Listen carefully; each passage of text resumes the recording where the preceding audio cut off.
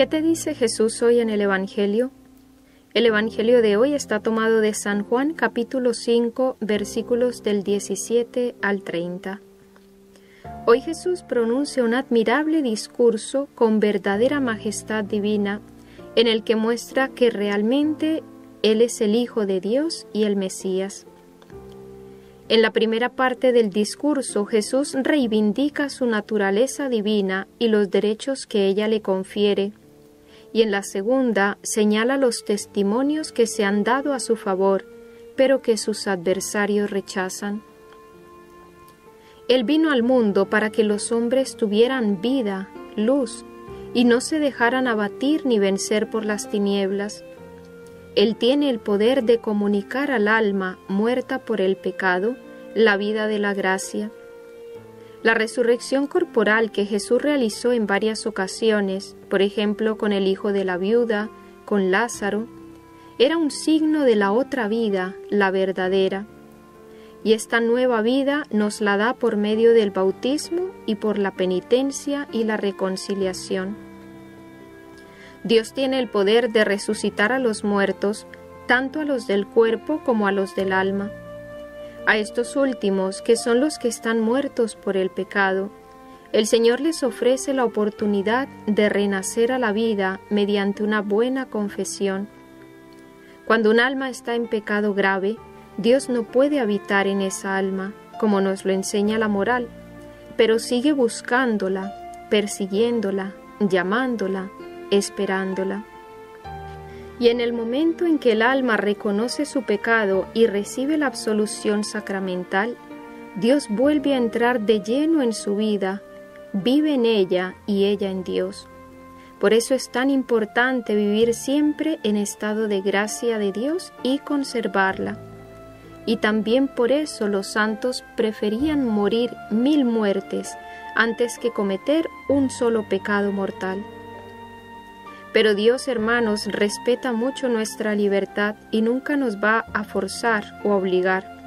Por eso, si yo no quiero acogerlo, Él me respeta, pero no me obliga. Esta es la razón por la que Jesús se lamenta de la dureza de nuestro corazón. Él, que es la luz, quiere iluminar nuestras tinieblas. Quien lo rechaza se queda sin luz y ya no sabe por dónde caminar queda desorientado en lo más íntimo de su ser. Y esto no sucedió solo en los tiempos de Cristo por parte de los judíos, sino que ha sucedido desde siempre hasta nuestros tiempos. El hombre quiere vivir al margen de Dios, y muchos han llegado a considerar este mundo como un fin en sí mismo, sin ninguna referencia a Dios. Este paganismo de nuestro tiempo se caracteriza sobre todo por la búsqueda de bienestar material a cualquier precio y por un rechazo pavoroso al sufrimiento.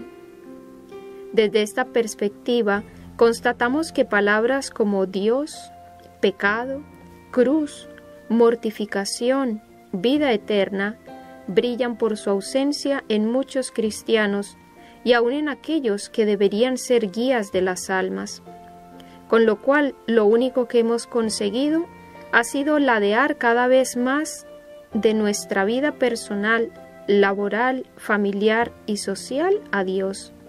Él ha pasado a un segundo plano.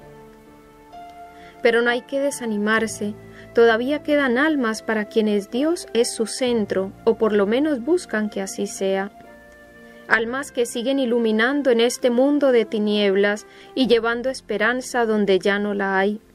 Y nosotros estamos llamados a ser de ese número de almas, cristianos que convenzan, que irradien, que den sentido a tantos que lo han perdido. La misión que el Señor nos ha encomendado es la de infundir un sentido cristiano a nuestro alrededor, y sepamos que en esta difícil tarea no estamos solos restablecer el orden querido por Dios y llevar a su plenitud el mundo entero, es obra principalmente del Espíritu Santo. Si nosotros somos dóciles a su acción y nos dejamos conducir por Él, podemos hacer verdaderas maravillas, porque con Dios todo es posible.